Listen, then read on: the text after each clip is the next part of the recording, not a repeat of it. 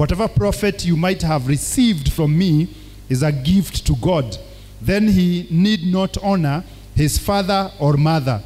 Thus you have made the commandment of God of no effect by your tradition. Hypocrites, well did Isaiah prophesy about you, saying, These people draw near to me with their mouth and honor me with their lips, but their hearts are far from me. And in vain they worship me, teaching as doctrines the commandments of men. Bwana asifiwe. Maneno ambayo tumeyasoma, and in this chapter, a number of things will come out. Um, the first one is the traditions of men um, that are engraved ama zinaingizwa katika ibada yetu. Jambo la pili tutakaloliona ni what I would call um, the matters of the heart, ya kwamba uh, sio tu ibada itokayo kwa moyo, bali pia tutaona uh, maneno ambayo yanatoka ndani ya moyo. Thereafter we shall be able to look and see um, about persistence and, uh, and, and, and the woman ambaye anamuomba aweze kumponya mwanawe and we will pick several lessons from there. The first thing that I want us to think about is it is very easy for traditions to be introduced katika ibada yetu na hizo traditions zikachukua nafasi ya mwongozo wa Roho Mtakatifu. Na maneno tunayoyaona hapa utarealize ya kwamba hawa- hawamwabii Yesu ya kwamba wanafunzi wako wanavuja sheria ya Mungu. Wanamwambia Yesu ya kwamba wanafunzi wako wanavuja zile traditions na mitindo ambayo wazee wetu wameweka. And what had been there ni ya kwamba God had given the law and the things ambazo zilihitaji kufuatiliwa. On top of those laws, wazee wa siku zile, the elders now, the scribes and the Pharisees, pia waliketi chini and they came up with traditions, mambo ambayo walihitaji watu wafanye. And what they used to do is that at some point, the, the, the, the, the, the traditions, the, the customs of the elders were regarded as the supreme law, ya kwamba hizi ndizo lazima zifuatwe. Unaweza hata kufuja sheria ambayo Mungu ameiweka, lakini lazima ufuate hizi ambazo ni traditions ambazo walikuwa wameziweka. The danger with this ni ya kwamba traditions hizi zilikuwa zimeegezwa kwa karibu sana na amri ambazo Mungu alikuwa amezitoa. Whether we are talking about the, the law about um, uh, purification and, uh, and cleanliness and all that and defilement that ukiguza hiki unakuwa defiled na lazima uoge ufanye hili. So they would tie them close to those. And then they would now become traditions of men. But the question the problem came in when those traditions went or prevented. Iliwazuia kuweza kutekeleza mausia ya Mungu katika maisha yao and when we look at this and think of our day because traditions are not bad in, in, in, in themselves but if they do what kama zitazuia if they inhibit kama zitazuia um, kutembea na kuongozwa naye Roho Mtakatifu, then kunakuwa na maswali kwa hizo traditions. Bwana asifiwe. Kama zitazuia kuongoza watu katika ibada ambayo ni ibada kamili na thabiti, traditions hizo zinakuwa hazina manufaa. Kwa nini? Kwa sababu traditions huwa zinatengenezwa within contexts ya kwamba najaribu, najaribu kutafuta jina ya Kiswahili ya traditions ni mitindo, ni mitindo eh? Eh, ni no, siongei juu ya utamaduni, naongea juu ya, ya naongea juu ya mitindo, ways of doing things, not really ta- I'm not talking about culture and I'm talking about mitido, the way of doing things. Tu, tukiingia tunaigiaga hii mrago. Bwana asifiwe. Ni mitido ya kuteda mambo. And um, we have we have some churches. You know sometimes we think ya kwamba sisi hatuko hatuko hatuko hatuko watu wa methods lakini imetaratara but you realize tunaweza kuwa watu wa methods hata kuliko wale wa methods unajua methodist church inaitwa methodist kwa sababu of methods.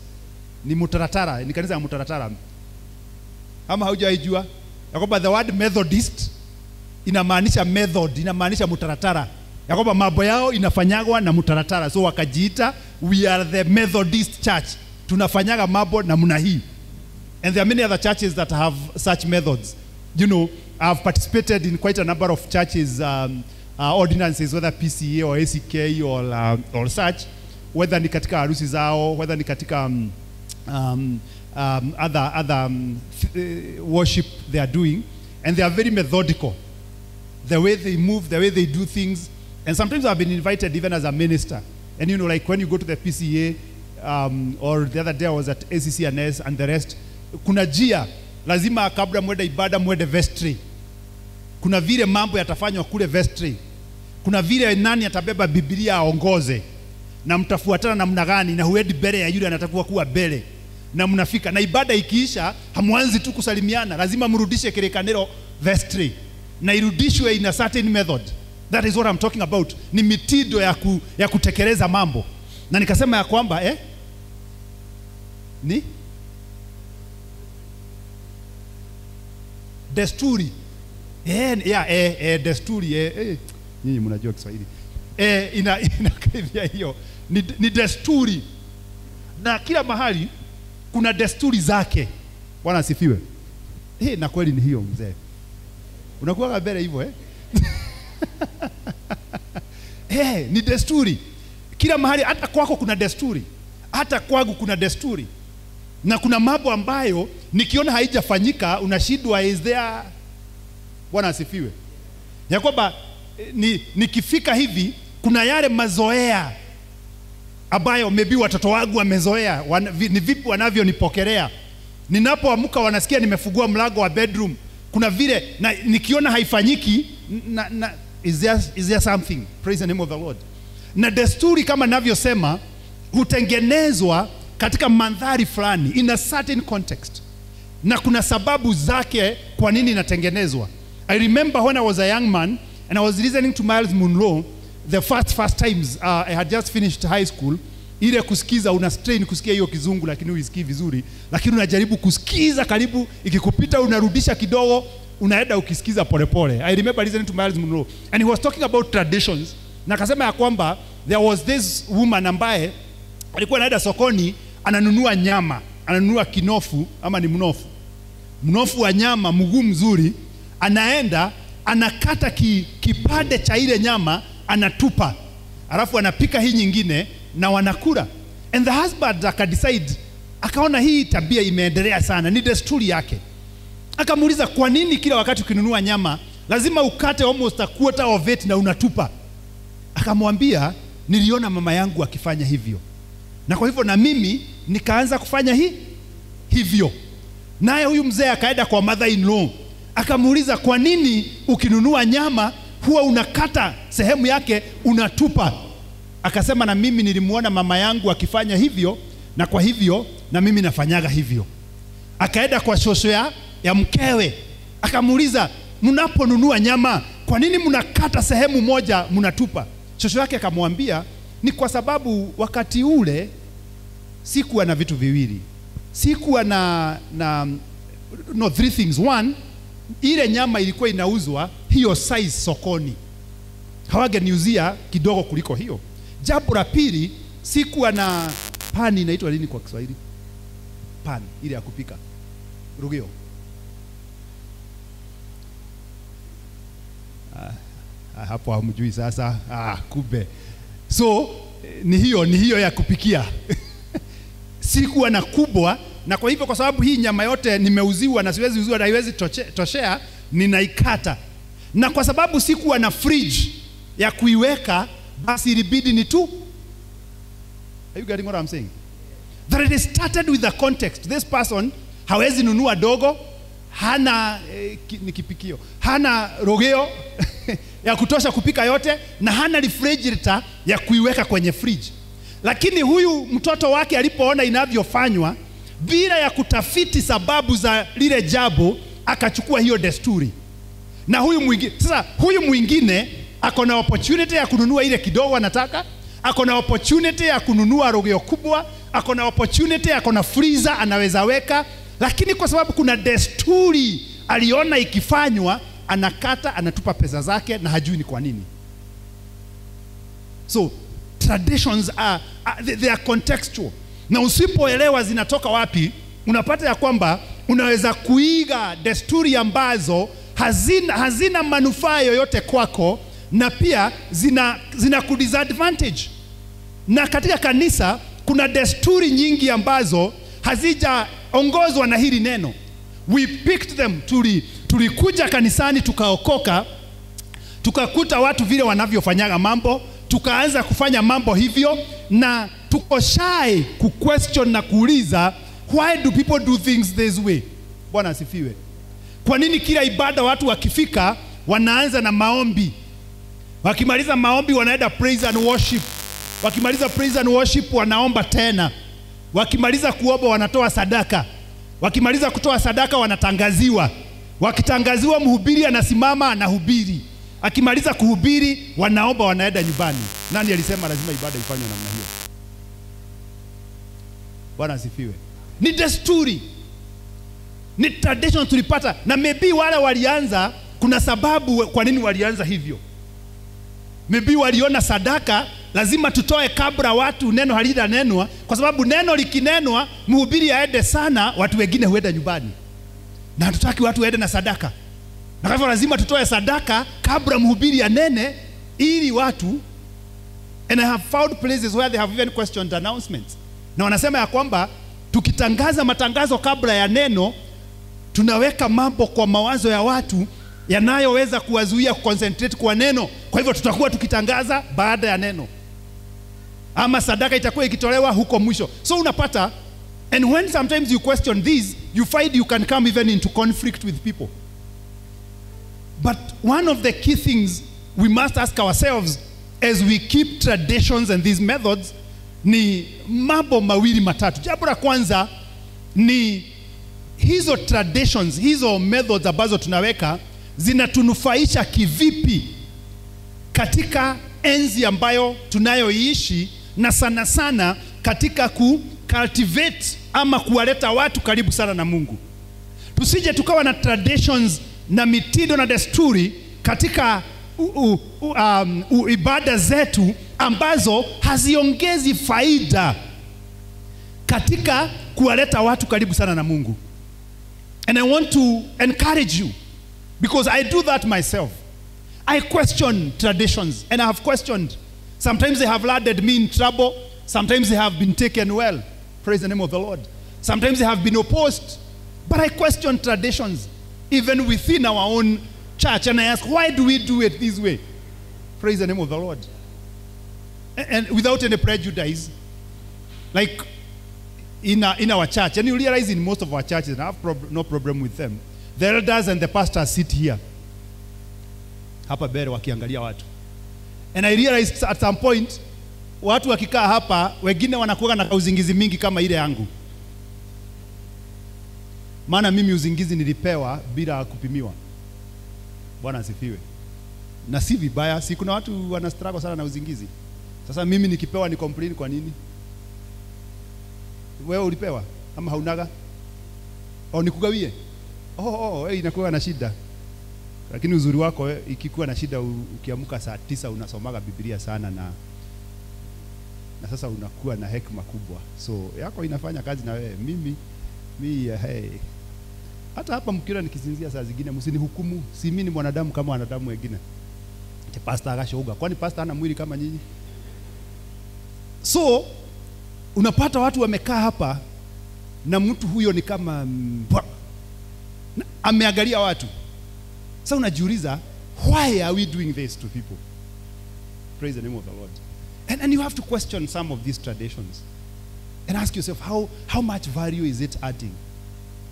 The way we do church. And i want to encourage you question even us. Tuulize kwa nini tunafanyaga mambo namna hii? Bwana asifiwe ama kwa nini tusifanye mambo namna hii kama mmoja wenu akaniuliza siku moja kwa nini tusikuage na hemu katika ibada na nikafikiria na hemu ni mzuri na sisi sasa tunafurahia kuwa na hemu every Sunday. If you go to other churches, they, they don't have hymns, but we sing hymns. So you have ask ask questions, even in your own home. Look at some of the traditions. Ask because there are some traditions that really add value. There are some traditions that, but there are others that will, um, will reduce value. And here they are asking Jesus, why are your disciples not following the traditions of the elders? Maana walisema lazima mtu aoshe mkono kabla ya kukula. And there was even a way of washing the herds. There was the way the herds were supposed to be washed. And if you did not wash them that way, you were forced to repeat. But the question that was there is, why? Was it adding value at that particular moment? Did it have any spiritual significance? Bwana asifiwe. Of course, one of the things that has happened early in the days, uh, nowadays nimeona wengi wamechukua, when I, when I, when I personally, because I personally don't like ties at all, sipendi kuvaa tai. Na nikaa nikiuliza, hii tradition ya kuvaa tai inaleta faida gani? Alafu unapata we pastor peke yako ndio uko na tai, hakuna mshirika hata mmoja ako na tai. Sasa unashindwa hata influence yako si, si mzuri. Kama unavaaga tai kila Sunday na hakuna mshirika anakufua, anaonaga vile unavaaga tai ni mzuri, avae kama wewe. Bwana asifiwe. Na, na saa zingine ikaniletea shida sana. Siku moja mpaka nika nikaitwa kwa ofisi nikaambiwa, lakini wale waliniita kwa ofisi siku hizi hawavaagi tai, hata wao walikuja upande huu. Bwana asifiwe. Because it's a trad- so somebody is insisting. I, I remember one time I was a, a, a, a guy alikuwa amevaa shati yenye si ya tai, ameenda sokoni siku yake ya harusi, gashati kanakaa vizuri, kana kona tukaras tofauti, na alikuwa wa kanisa ya, ya, ya, hii PCA. Akaenda akaambiwa hawezi fanya harusi hapa bila tai. Unajua vestry kuna kuwa na tai huko, akafugwa na ni siku yake ya harusi na shati si ya tai. Sasa unajiuliza desturi, hizi desturi ambazo tunaweka zinaongeza faida gani? Bwana asifiwe. And what level of emphasis should we put on them, ili tusije tukatilia mkazo sana hizo traditions na hatutilii mkazo ule mwito na ile le, lile lengo ambalo limetuleta pamoja katika ibada zetu na katika kumwabudu Mungu na yale mambo ambayo tunayoyafanya, na pia tusije tukaondoa nafasi ya Roho Mtakatifu kuwa mwongozo katika maisha yetu. Bwana asifiwe. Na zaidi ya hilo, kuangalia neno la Mungu linasema nini. Kwa hivyo unajiuliza ni faida gani hizi traditions zinaongeza katika ibada yetu. Jambo la pili, zinauiana kivipi na neno hili takatifu ambalo tumepewa na tunalisoma. Na jambo la tatu, zinauiana kivipi na mwongozo wa Roho Mtakatifu ambao tumepokea. Praise the name of the Lord. So we don't become keepers of because what happens is that when you become keepers of traditions at the expense of obeying God, like Jesus is saying here, it births an empty religion. Praise the name of the Lord. It births people who are religious ambao sade lazima aende kanisani, lazima aibe, lazima afanye hili, lazima and, and that is why I will never try to compare us and the Muslims. I hear people comparing, mnaonaga Waislamu hata akiwa wapi lazima aombe, hata akiwa wapi. I would never compare that, kwa sababu yeye anaongozwa na traditions and they might be doing that from an empty shell. Ha, hakuna, hakuna uwepo wa Mungu ndani yao, lakini kwa sababu kutoka akiwa mtoto amefunzwa ile desturi, anaweka ile desturi pasipo na uhusiano. Bwana asifiwe. Lakini sisi ambao tumeitwa katika wokovu huu lazima tuongozwe na uhusiano tulio nao na Kristo, sio kwa sababu ni tradition ambayo imewekwa na lazima tuitekeleze, even if we are doing it out of an emptiness of our hearts, but we are being driven by a relationship ambayo tuko nayo na Mungu. And so you realize for them it is traditions that they are keeping. Maybe they don't even know. They don't even know why they are praying at 9 a.m., why they are praying at noon, why they are praying at 3, why they are praying at 4, why they they don't know. But you might realize why those how those timings were put was again contextual. Was con- like the 9 o'clock prayer, the Jews desired to go and pray before they have breakfast. So they, they, they found ni saa gani ambayo si mapema sana na si late sana ambayo tunaweza omba kabla ya tukule. so wakaweka 9 am you'll find other people who will tell you 3 pm ni kama ndio time ile mungu anakuwaga ameamka. Kusikia maombi. What they don't realize is that 3 pm ha, kwingine ni mchana watu wako kazini na mungu wao ni yule yule wetu tu. So wanaamka saa tisa. Na sina shida na wale watu wanaamkaga saa tisa hata saa zingine kuna mtu huwa ananifresh saa tisa niamke niombe lakini siamkagi wale wanaamka saa tisa sina shida. But wake up at 3 because that is what works for you. It is not because that is when god is more alert. Ati wakati huo katika liam ya unasikia and it is not in scripture. Sijui kama you have heard those things. At 3 am ndio mapepo yanakuaga sasa yako kazini. Lazima ukikosa kuamka 3 am ukiamka 6 utakuta yalishaamuka na yakapata yakapata kiamsha kinywa these are traditions of men praise the name of the lord so keep them because they work for you that at that time i'm alert I am sober, I am fresh, I can read this word and understand before shughuli nyingi za siku zini. Lakini si ati wakati huo ndio Mungu anakusikia sana. Kuna wengine 3 am wali 3 am yao hapa ni mchana, na kwa hivyo hiyo 3 am yao, so it, it actually doesn't work. But there are traditions, and these traditions can can can can uh, shape a religion for us. And once it shapes that religion for us, you find we almost have total disregard to the leading of the Spirit because this is how we do things. We come to church, the Holy Spirit is saying something in terms of certain things, but because we want to remain within our methods, then we, we, we have disregard na mwongozo wa Roho Mtakatifu. Na kwa sababu kuna wakati mwingine Roho Mtakatifu atatuongoza sio kama vile ambavyo uh, traditions na desturi zetu zitatuambia. Naye Yesu akawauliza, why do you transgress the commandment of God because of your tradition? Na akawapatia tradition moja, akawaambia the commandment of God inasemaga honor your father and your mother, lakini kulikuwa na one tradition ya wazee hawa, na hiyo tradition ilikuwa ukiwa na mali na hiyo mali useme ya kwamba nimeiconsecrate kwa Mungu, itakuwa justification usipatie mtu yeyote. Bwana asifiwe. Na kwa hivyo wazazi wao wakati mwingine wanakuwa na shida, wazazi wao wakati mwingine wanakuwa hawana chakula, lakini kwa sababu mtu hataki kusaidia mzazi, anamwambia kwamba ile pesa ningekupatia nimeiweka wakfu kwake Mungu. But it was a tradition. It was not in the scriptures. It was not in the laws. It was just a tradition that they had come up with. And Jesus is simply saying, and maybe it's a message to us also, that when you don't support, when you don't help, when you don't start there for your parents, you are dishonoring God. Because God has said you honor your father and your mother, and one way to honor them is to ensure they are well taken care of. Bwana asifiwe. Of course, we as parents, with the wisdom of the word of God, we must learn that the word demands that we leave an inheritance for our children and our children children.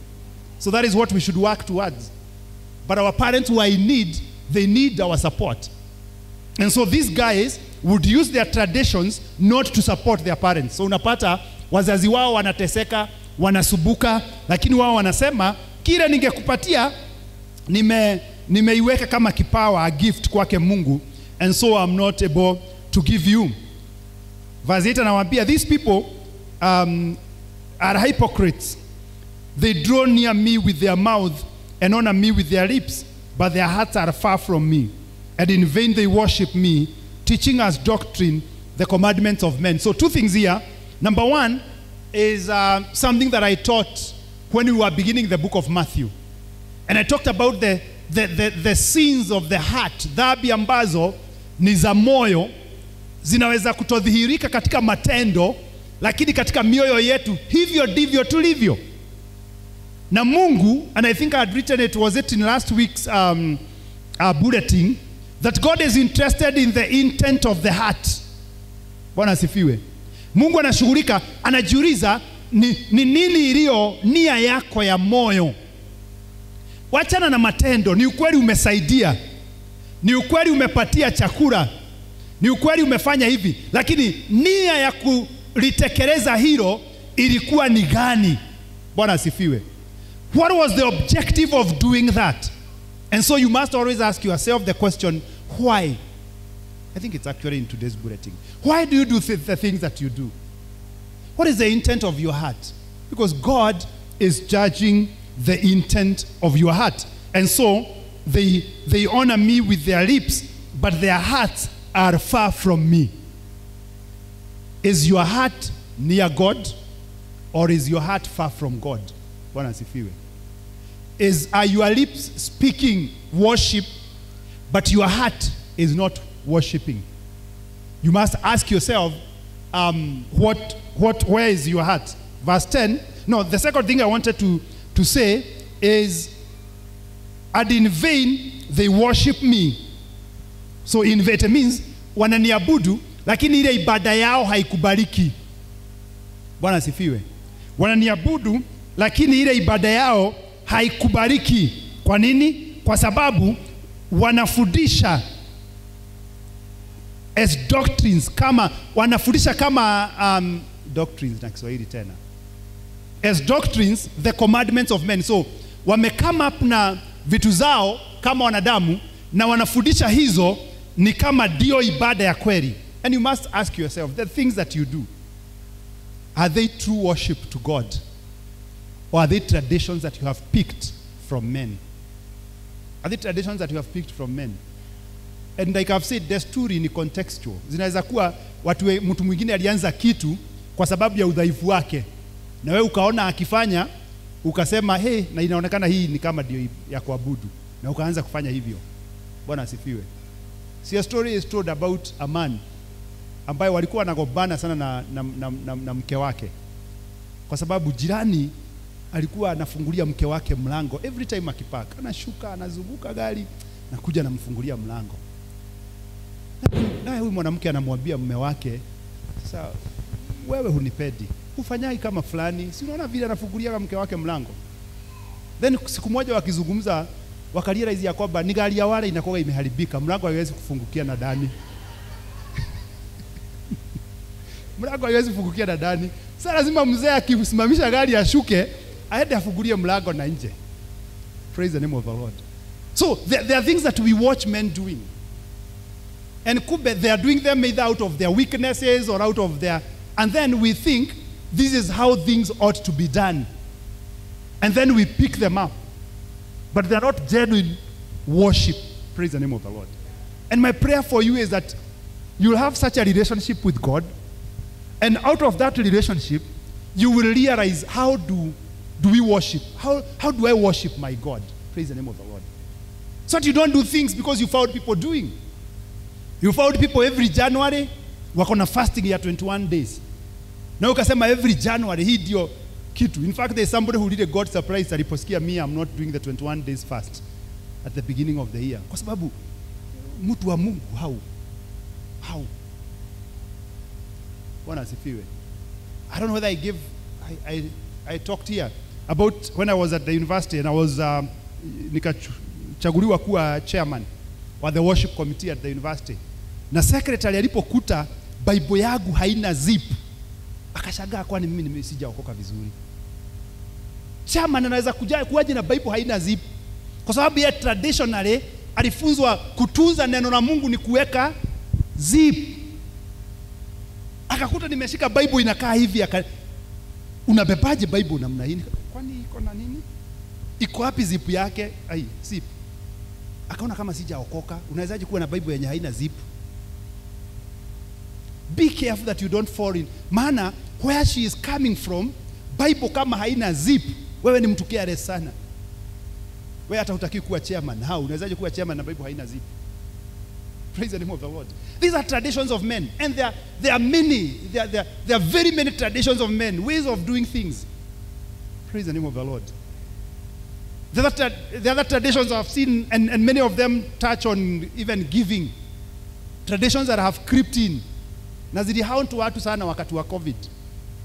Zilihaunt watu sana. Kwa sababu wali, walikuwa wamefundisha watu ya kwamba tithe lazima iletwe kwa miguu ya apostle. So tithe inapokeleagwa, so wengine muweke sadaka huko wale wako na tithe mpage laini ipokelewe. Then covid ikakuja haiwezi pokelewa. Na si uliniambia ili ibarikiwe lazima ipokelewe. Sasa unaniambia nitume na mpesa namna gani? Na uliniambia lazima nilete kwa miguu ya mtumishi makanisa yakakosa pesa. Kwa sababu walifunzwa sadaka sadaka ya hiari we kuja uweke. Hiyo ni sawa unaweza tuma hata na mpesa. Lakini hii ingine ya tithe weka kwa bahasha jo na najua mmeziona mahali. Najua mmeenda mahali mkakuta ikipokelewa. Najua shida yangu sinaga shida kwa sababu ukweli lazima unenwe. Bwana asifiwe. So wanakuja wanapokelewa wanabarikiwa wanapokelewa alafu zinaombewa vizuri alafu covid ikakuja. Sasa haziwezi pokelewa. Na kwa sababu uliniambia lazima nikuletee sasa siwezi toa. Kwa maana nikitoa sitakopokea baraka. Kwa sababu uliniambia naweza pokea baraka tu unapoipokea. That is the problem. When we bring in traditions of men into worship na tunazifanya zinakuwa kama and, and, I've, and I've said traditions are not bad per se. And every home has a culture. And that culture is made up of kuna zile desturi. Mi nikakwambia nikifika nyumbani nikipaka gari hivi jeremy na jiana wako hapo kwa mlango. Wanagoja nizime engine wafungue mlango wanifungulie. Hiyo ni tradition ya kwetu. Na utakiwi kwenda kusikia vibaya na watoto wako kwa sababu hawakufungulia gari mlango ya gari. Wewe unaingiaga kwa nyumba unawakuta wako huko wamewekelea miguu juu ya viti hawakununua. Wanakuangalia ni kama wanakuuliza "Oh, ni woka. You know hawakuulizi hivyo lakini vile wanakuangalia unaona ni kama wanakuuliza ni woka but ni desturi ya kwa ya kwako. Na kuna de, so kuna na all of them have some good but we must not emphasize them at the expense of true worship of our God. Praise the name of the Lord. And we must not try to mislead people to take our traditions to be what must be done. Because what happens it will become vain worship. It will become an empty religion. Because people will not meet with Christ. Watakuja wafanye mambo wafanye mambo waibe nyimbo tunaibaga wimbo wa haraka alafu tunaiba wa polepole tunasema ni worship tunaomba. Ni sawa kama inakupeleka kuomba but if you do it you must ask yourself is, is it working for me? Je tunaweza rukaruka ya haraka na tukimaliza tukute tumeomba? Unajua kuna watu hawezi omba after wimbo ya haraka haraka. Ma uwaibie ya polepole ni wewe. Ili wa... lakini ukiiba hii haraka haraka hawezi ifika maana iliwekwa ndani yao hivyo. Na sio nyinyi tu hata mimi hustruggle na traditions nyingi. Bwana asifiwe. But i want to encourage you sometimes to question traditions. What i want to tell you out of experience sometimes they will not earn favor for you. Sometimes they'll, they'll, they'll make you get questioned. They'll make you get questioned. But we must question the status quo. We must sometimes ask ourselves why do we do these things the way we do them? Are they getting us the benefits that we should be getting out of them? Are they still relevant? You cannot do things the way you used to do them in 1979. You want to do them today and expect to. In fact, they say, I don't know whether they say craziness or madness, is doing the same things and expecting different results. Bwana asifiwe. Maana muda ume, umeenda. Many things have happened. Technology has come. So many things have happened. So will we continue sticking on the old methods and ways of doing things? No. Let us be willing to change. Let us be willing to adopt new ways. As long as we are still holding on the core, the Word of God, the leading of the Holy Spirit, and the worship that is true in the presence of God. Bwana asifiwe. Because kitabu utapata kuna watu ambao hawaku wana, wanaiba mpaka na hizi vyombo, maana waliamini ni za disco, zinapigwa huko kwa and it took time to get there are some who still bado hawajawahi fika. Bwana asifiwe. They still hold on to those things. So be able to question such traditions. Verse 10 when he called the multitude to himself he said to them hear and understand. Not what goes into the mouth defiles a man but what comes out of the mouth that defiles a man. Then his disciples came and said to him do you know that the pharisees were offended when they heard this saying? But he answered and said, Every plant which my heavenly Father has not planted will be uprooted. Let them alone. They are blind leaders of the blind. And if the blind leads the blind, both will fall into a ditch. So we'll, we'll come to the parable. But um, let us look at this final part. So they are offended. And people in traditions will get offended by you when you question them. Especially if they are traditions ambazo hazijengi. Na Yesu Kristo akawaambia ya kwamba chochote ambacho sio baba yangu aliyepanda lazima kitatolewa. Bwana sifiwe. Lazima itang'olewa. Na kwa hivyo the best thing is to align yourself with the Father. Because if you take or partake anything that is not aligned to the Father, that is not, and, and the way to check whether things are aligned to the Father is to study this word. Bwana asifiwe. I- I- Whatever is preached, ukienda uabiwe, there are some generational things that are following you, na lazima utoe sadaka fulani ili ziweze kuwa dealt with. Enda kwa neno la Mungu ujiulize kama ziko. These are traditions and teachings of men that have come and have been made doctrine ya kwamba mtu akiokoka lazima sasa aigizwe deliverance classes miezi mitatu ili akuwe delivered kabisa kule anatoka. Kwani Yesu anafanya kazi nusunusu? Yaani ananiokoa alafu anabakisha tumizizi twingine tumemshida, lazima nipelekwe deliverance class ili tumizizi hizo tutolewe. These are, these are traditions of men na zimeingia mahali kwingi. If you have to be taken through classes, be taken through classes to be discipled because you are a new creation. The, the past is gone, and now all you need to be taught is how to live in the newness of life that you have received. You don't need to be taught deli- how to be delivered. You, you, Jesus does it once and for all. Bwana asifiwe. And there is nowhere in the Bible we see some demon possessed men ambao wanakuja kwa Yesu wanaigizwa klasi ya miezi mitatu kabla ya wakuwe delivered. Si watamalizwa na hizo demons wakufe miezi mitatu kabla ukuwe delivered three months. Yesu alikuwa ana anaambia hiyo pepo itoke na inatoka inaenda, the person anakuwa free. Praise the name of the Lord. These are the traditions of men that we are um, talking about, ya kwamba ili certain things happen katika maisha yako lazima ufanye kitu. Kuna zingine zinasikiaga pesa kuliko zingine, kuna zingine zinasikiaga pesa kiasi fulani. They, they, they, do not, they should not be there. And he, he is saying all these things, kama si baba yangu aliyepada, they will be uprooted uh, for God. Akawaambia wachana na wao, ama hii let them alone inamaanisha nini na Kiswahili? Hii let, let them alone, si ni wachana na wao eh? Ah, wachana nao. Yaani Yesu alisema wachana na wao. They are bride leaders of the bride. And if the bride leads the bride, both will fall into a ditch. Bwana asifiwe. So ho- ho- mahali popote ambapo unaongozwa lazima anayeniongoza naona kama anaona ama namna gani? Bwana asifiwe. You are allowed to assess. Hata mimi nikiwa mchungaji wako, angaliaga kama ninaona mahali ninawapeleka. Bwana asifiwe. So the Bible says test every spirit. You are allowed to test.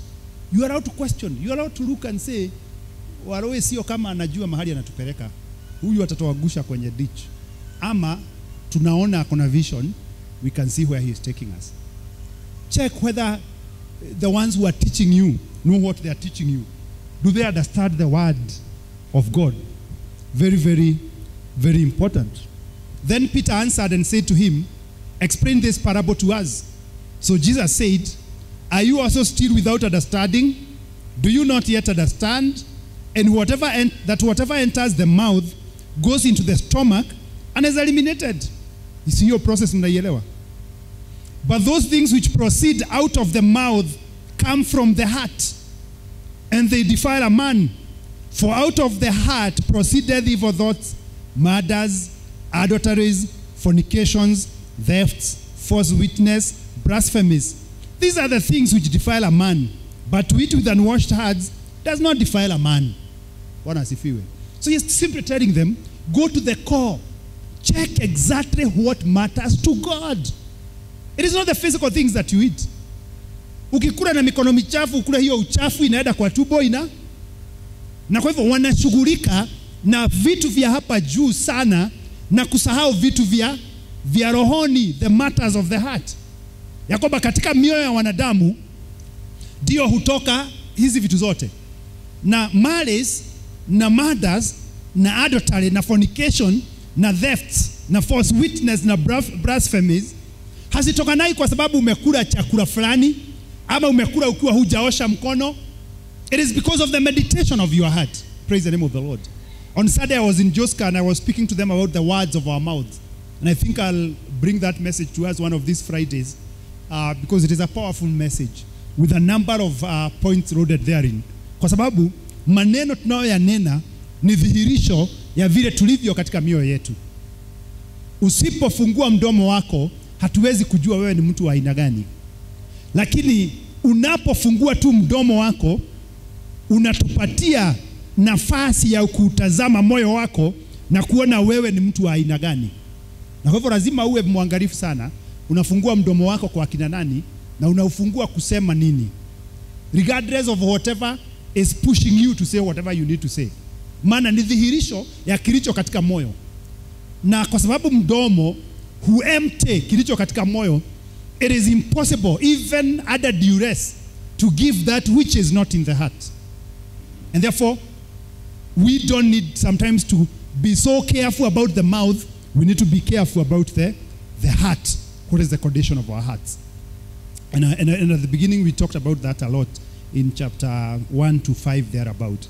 Verse 21 then jesus went out from there and departed to the region of tyre and sidon so the region of tyre and sidon is a region of gentiles.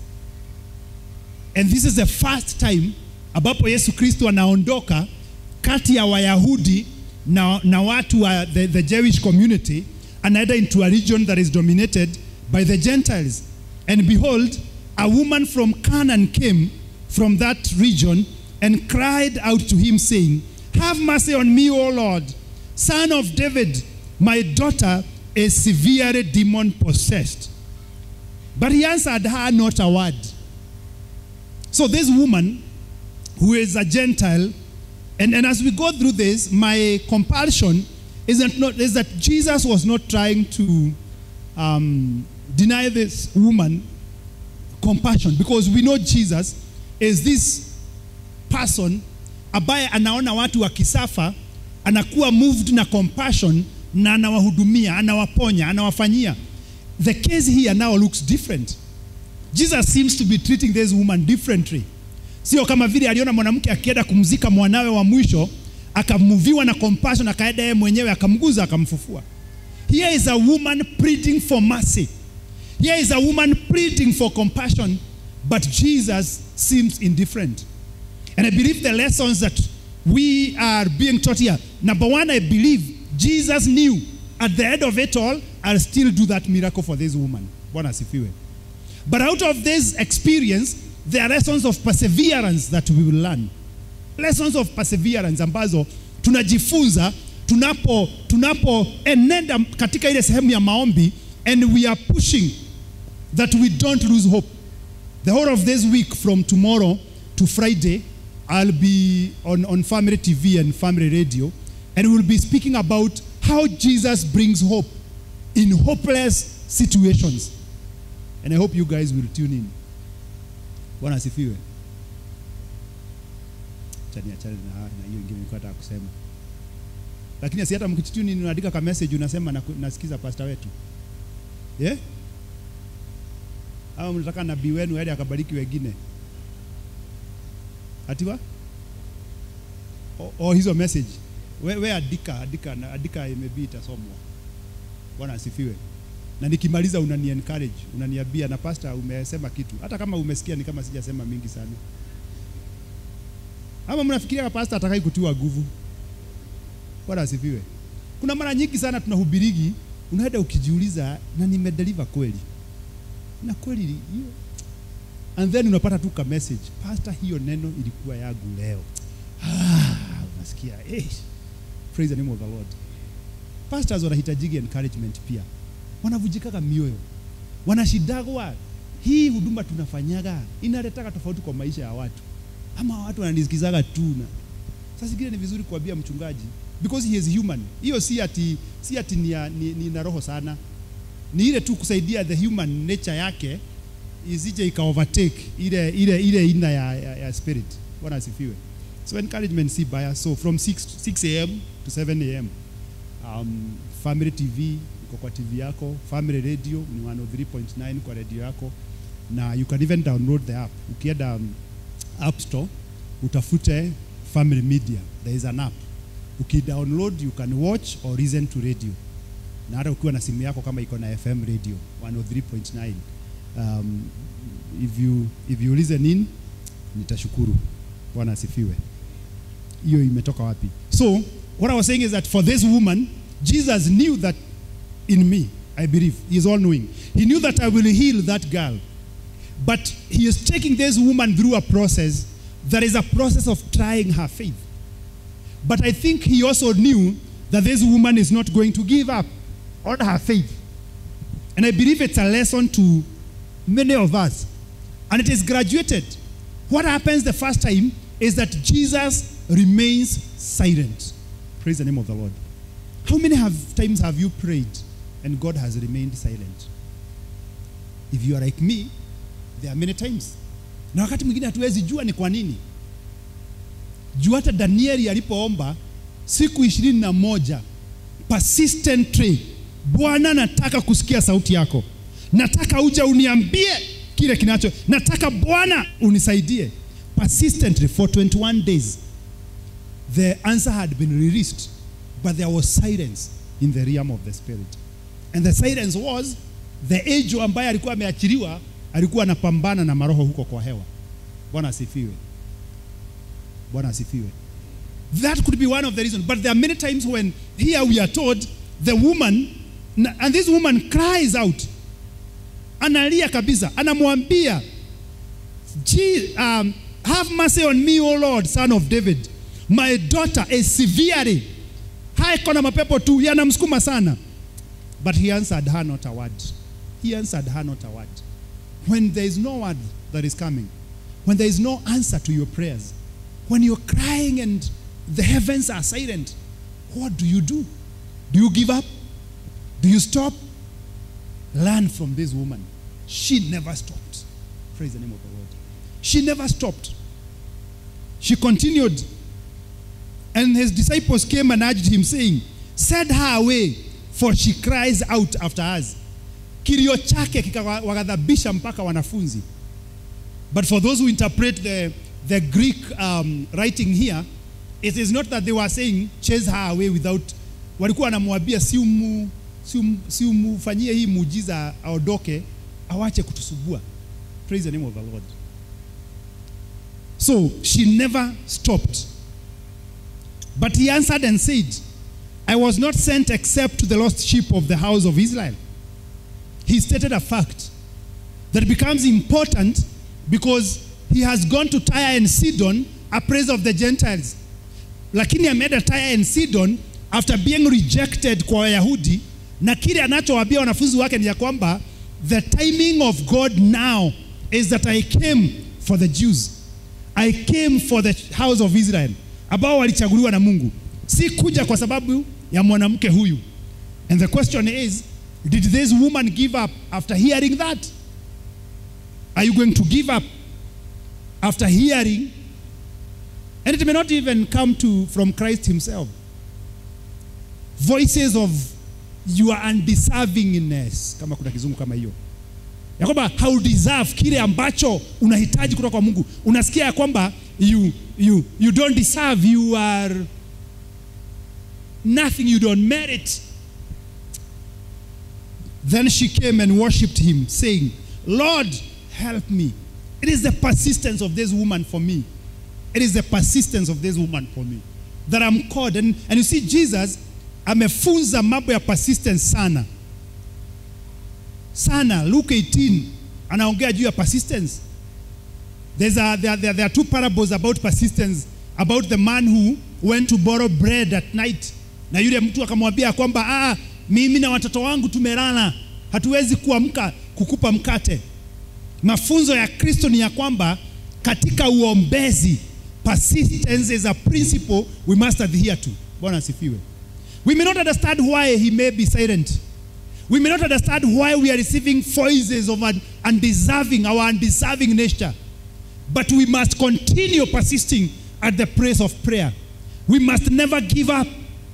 So she she was talking maybe from far. Now she comes near, kneels near Jesus, and says, Lord, help me, my brother and my sister, no matter how things are, no matter how they have deteriorated, never leave the feet of Jesus. Bwana asifiwe.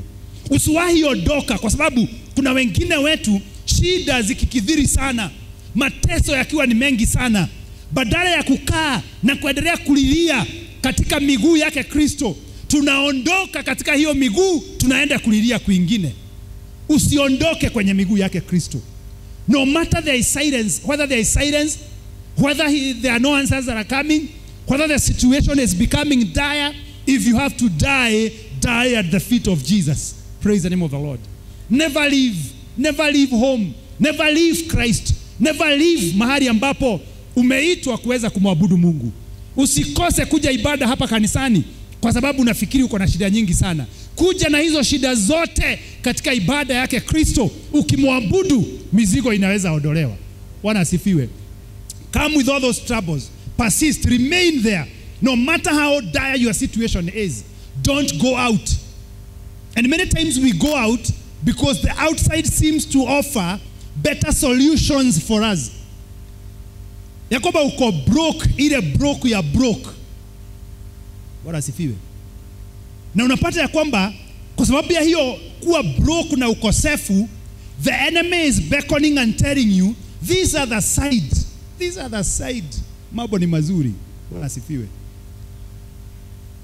And you find you fall. After I went to Truth FM and, uh, and, and, and spoke, there's one Saturday, I've, I've gone three times. Two times I've spoken about money. But there's one Saturday when I went um, on there, they call it the dating clinic. And I talked about um, money and, uh, and relationships. And at the end of the show, um, the presenter asked me to give out my number. And I gave out my number. And since then, I've got very many cases. That 80, but 80 90% of the cases ambazo nimezipata ni cases ambazo watu wako katika distress. Distress kubwa sana, physical violence in relationships walizoingia ndani yake. Na kila wakati nikiuliza, moja anakuambia nilikuja Nairobi College, then wazazi wangu wakakosa karo, na walipokosa karo sikuwa na pesa hata ya kukula na nini, nika huyu mwanaume akaniambia kuja tukaage na wewe, maana huna pesa. Na kwa sababu ya ukosefu wa pesa, mimi nika give in. Nilikuwa nimeokoka, nika backslide, nikaenda tukaanza kukaa na yeye. Sasa niko na watoto wawili, ananitesa, ananipiga, ananifanya nini? But what drove them there? They left the feet of Jesus because of the desperation.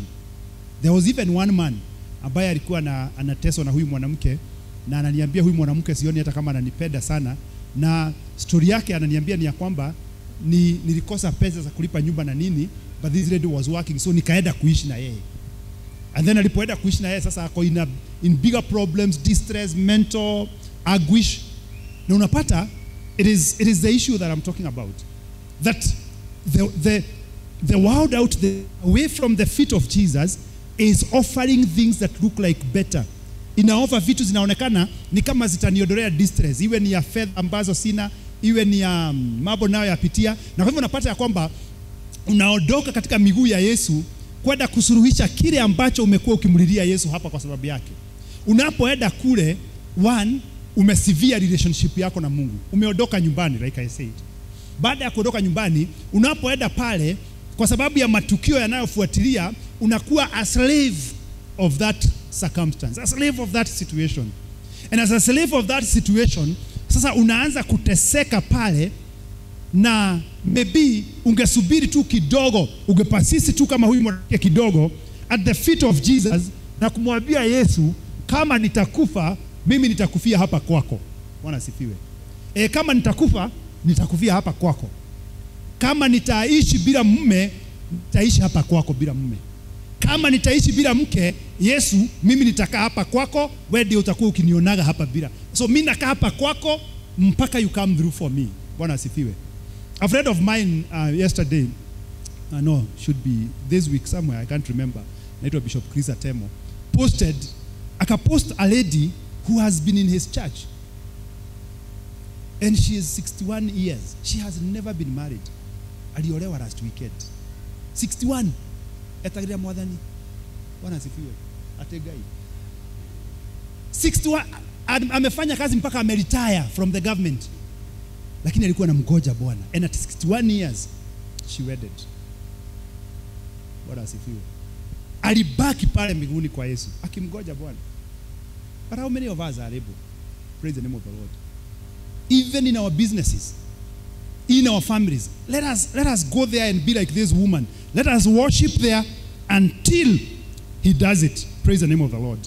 But he answered and said it is not good to take the children's bread and throw it to the retro dogs. Sasa hapo yesu ame, amenena maneno ingine. But of course you have to understand it in context. That the jews viewed everybody else the gentiles and such as, as dogs as people who are out there. And so yesu anasema siwezi chukua mkate ya watoto nipatie mbwa na watoto hawajashiba he's talking about the timing. That yes yes this gospel will still come to the gentiles. That was the plan the eventual plan. But the timing is not yet. Praise the name of the lord. Maana unajua hata kwenu. Mbwa yule wenu lazima angepewa chakula. Lakini hakuwa na sio yeye alikuwa anapewa kwanza. Are you getting the analogy that jesus is talking about timing that hata hata nyumbani we had dogs ambazo zilikuwa zinakaa huko nje. Siku hizi wengine zinakaka kwa nyumba. They are, they are, they are members of the family. But these ones tulikuwa tunakula tunakula. Tu, mbwa anajua lazima atapewa food lakini atapewa after watoto wameshi. So jesus is simply saying let me now first minister to the jews the ones i was sent to. And then i'll come to the gentiles when the time is ripe. But this woman is persistence. She is not going to give up. And she said to him yes ni ukweli hivyo unasema ni mzuri lord. Yet even the little dogs eat the crumbs which fall from their master's table.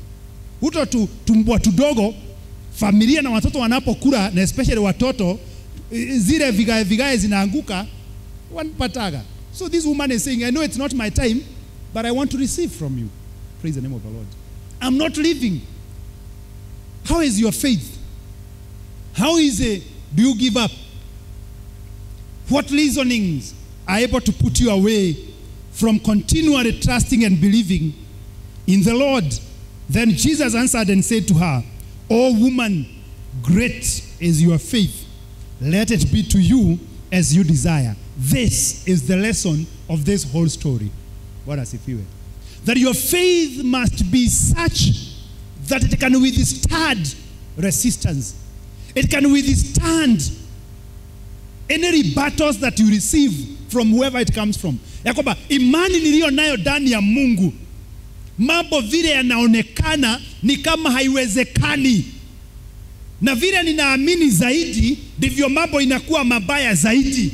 Lakini nitashikilia imani na nitaendelea kumwamini mungu na sitafujika moyo at the end of the day christ communicates the lesson that great is your faith this was spoken to 102 Gentiles by Jesus. And actually, at one point with the centurion, he is asking, when, when the Son of Man returns, will he find faith? Bwana asifiwe. If the Son of Man, if Jesus Christ came to house of worship Kamuru today, je, atapata imani? Atapata imani.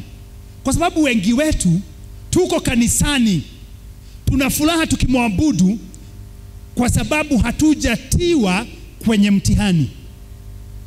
Bwana asifiwe. Hatujatiwa kwenye mtihani, hatujawekwa kwenye mtihani kujaribiwa kama imani yetu itaweza kusimama. Tunanena maneno ya kutia nguvu, tunanena maneno yanayoonekana kama na- yanaweza songesha milima na ingie kwenye ziwa, lakini kile ambacho hakijapatikana katika maisha yetu ni kuwekwa kwenye mtihani. Na yawezekana kesho ni mimi yawezekana kesho kutwa ni wewe, hiyo si siku nyingine ni huyo mwingine atakayewekwa kwenye mtihani, kwenye mtihani katika biashara yako, utawekwa kwenye mtihani katika doa yako, utawekwa kwenye mtihani katika maisha ya watoto wako, utawekwa kwenye mtihani katika mali ambayo Mungu amekupatia, utawekwa kwenye mtihani katika maisha yako ya kibinafsi. Na utakapowekwa kwenye mtihani, je, utastahimili? Utasimama? Imani yako itasema siondoki hapa, maana naamini ya kwamba utanitendea. Praise the name of the Lord.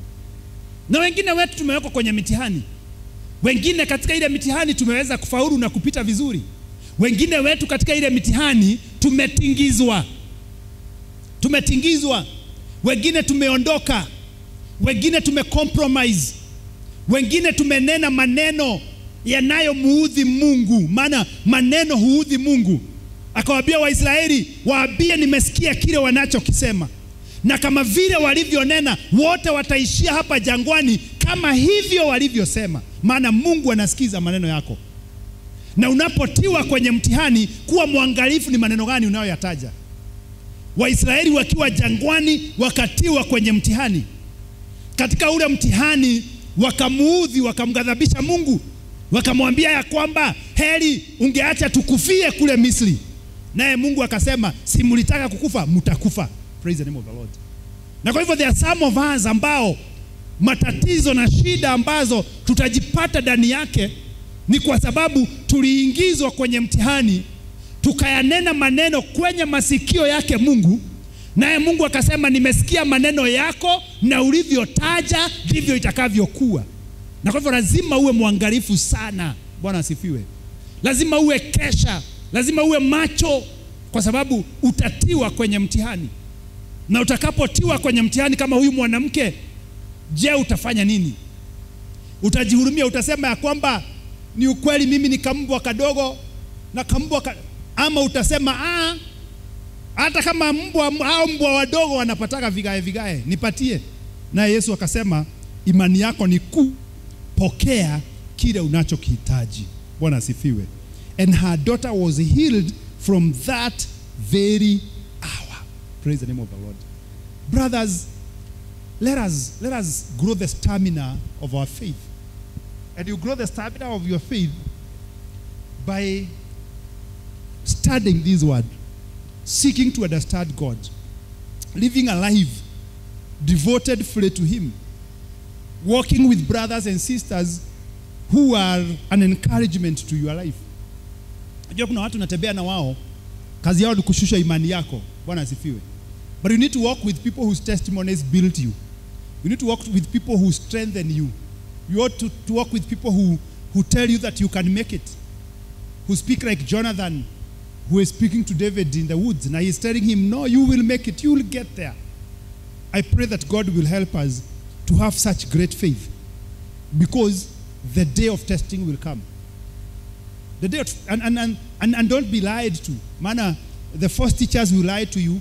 Watakwambia hiyo siku ya majaribu ni kwa sababu ya hili na lile, kwa sababu ya jirani, kwa sababu ya um, a relative, ni kwa sababu ya fulani, na kwa hivyo unahitaji, you don't need money. You don't need money. You just need faith. Praise the name of the Lord. You just need faith that will keep you there at the feet of Jesus, worshiping Him and telling Him, I know I will receive from you. Praise the name of the Lord. Siku yako ya mtihani ikifika, naomba ya kwamba utaweza kufaulu. Bwana asifiwe. Tutaendelea siku ya Jumapili tuweze kuomba. Baba, katika jina la Yesu Kristo, tunashukuru kwa sababu ya nafasi ya kulicheua na kulisoma na kulitafakari neno lako. Asante kwa sababu umeendelea kutuongoza vyema. Tunaomba ya kwamba neno hili litakuwa na manufaa katika maisha yetu, litatuongoza, litatuelekeza, na katika kila kitu tunachokitekeleza litakuwa ni kiegezo thabiti, na ili tuweze kuwa washidi Asante kwa sababu ya uaminifu wako. Tuendelee hapo na ibada, uwe pamoja nasi, utubariki na utunenee, tusikie sauti yako na yale unayohitaji kwetu. Tunakuinua na tunakusifu katika jina la Yesu Kristo tumeomba na kuamini. Amen, amen. God bless you.